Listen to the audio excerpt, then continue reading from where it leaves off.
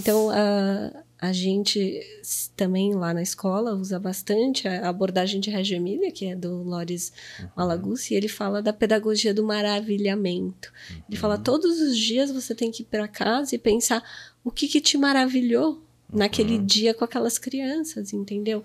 O que que te fez, enquanto professor, chegar em casa, aquela hora que você deita na cama, e acho que todo mundo que é professor vive isso, depois de tirar o chicotinho, que como a gente fala, que é, ai, eu não dei conta disso, ai, ele chorou, ai... E falar, nossa, você viu que incrível o que ele fez hoje? E, e esse é o fio que a gente tem que depois recuperar no outro dia e também ir puxando e dando luz para isso, né? Isso é muito legal, que é quando a gente se pega assim, dando aquele sorrisinho assim. É isso. sem perceber, né? Sem, sem querer, você tá rindo sozinho, assim. E a gente se permite fazer cada vez menos isso. Uhum. Tanto enquanto profissional, quanto em, em, família, a gente fica sempre com o chicotinho. É isso sempre pensando no que a gente não deu conta, no que a gente devia ter feito diferente e gasta nossa energia pensando nisso ao invés de pensar e fazer mais o que fez a gente sorrir, o que fez a outra criança. Isso é, é, feliz. é uma coisa que a gente fala muito, assim, às vezes né, os professores vêm com toda a razão, né, com mil angústias. Ai, essa criança não consegue entrar, ela só chora, ela tá deprimida, ela tá não sei o que. Aí já vem todos os, né, até coisas assim que nem são, mas é naquele momento. Aí eu sempre falo, olha, tudo também é uma questão de escolha de holofotes, né? Se a gente pega esse holofote e joga aqui, aonde tem só esses problemas, a gente vai ficar só ali. Mas olha o que essa criança faz, vamos virar esse holofote, vamos ver.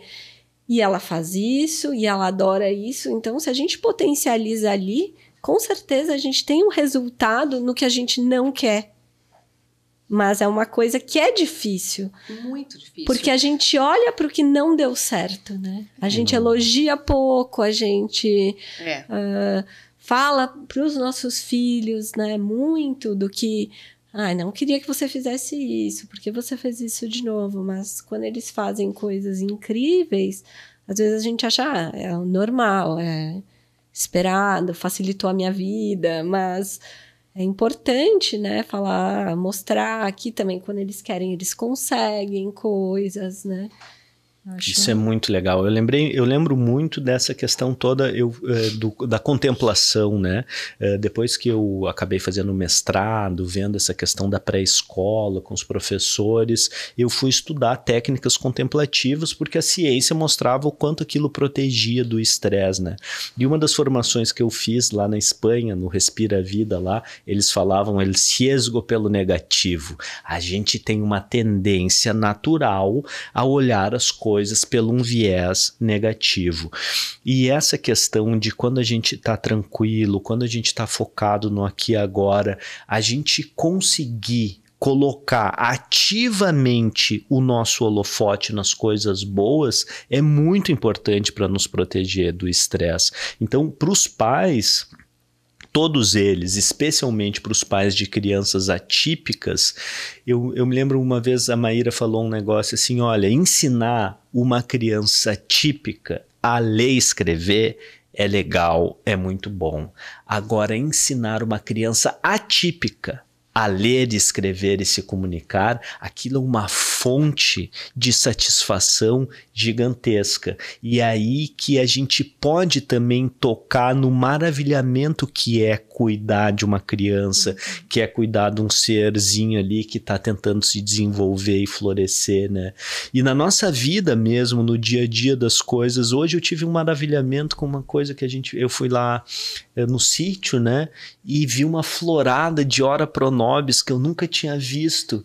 E uhum. eventualmente, e daí tava cheio de abelha, aquelas flores lindas, que é essa planta maravilhosa. E eventualmente tu tá tão na correria que aquilo ali e, e, um muro cinza é a mesma coisa.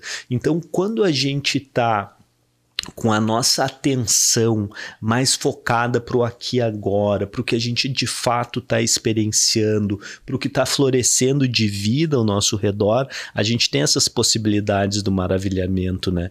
Mas se a gente entrar no piloto automático, isso não vai acontecer. E isso é importante ser dito porque isso é uma estratégia de evitar burnout tanto em professores, terapeutas ou pais. A gente precisa achar uhum. maneiras, não é simplesmente de largar uma bomba e dizer tudo que está fazendo está errado e não sei o quê. A gente tem que oferecer alternativas de dizer, olha, existe um caminho aqui que a gente pode conseguir dar conta disso melhor, né?